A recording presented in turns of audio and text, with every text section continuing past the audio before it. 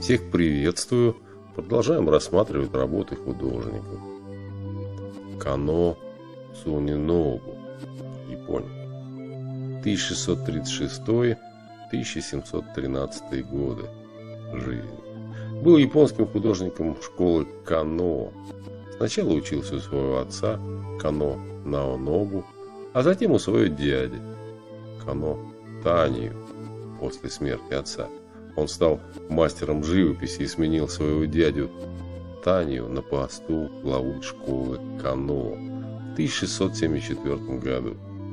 Считается, что многие работы, приписываемые Танию, на самом деле могли принадлежать Суэнову, но это трудно установить, поскольку они часто работали над более крупными произведениями вместе.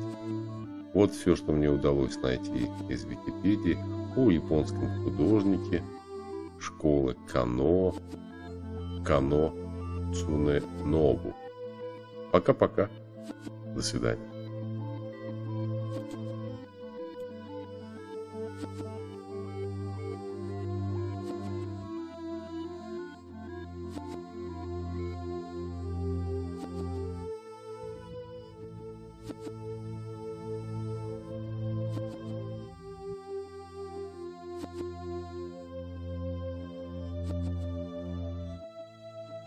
you